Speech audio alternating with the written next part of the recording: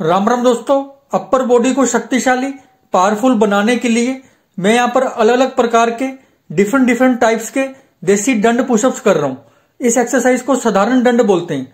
ये एक बहुत ही आसान और असरदार very simple and effective body weight exercise है। इस एक्सरसाइज के आप तीन से लेकर पाँच सेट कर सकते हैं। दोस्तों, इस एक्सरसाइज को राममूर्ति दंड बोलते हैं। ये एक अत्यंत शक्तिशाली very powerful body weight exercise है।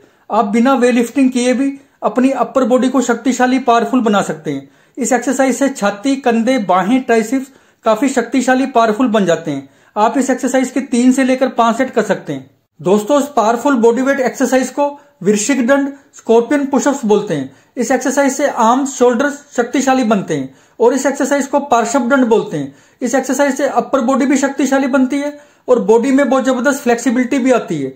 तो आप इन एक्सरसाइज को इसी कॉम्बिनेशन के साथ कीजिए, जैसा यहाँ पर मैं कर रहा हूँ। ये सभी एक्सरसाइज बहुत ज़्यादा शक्तिशाली है।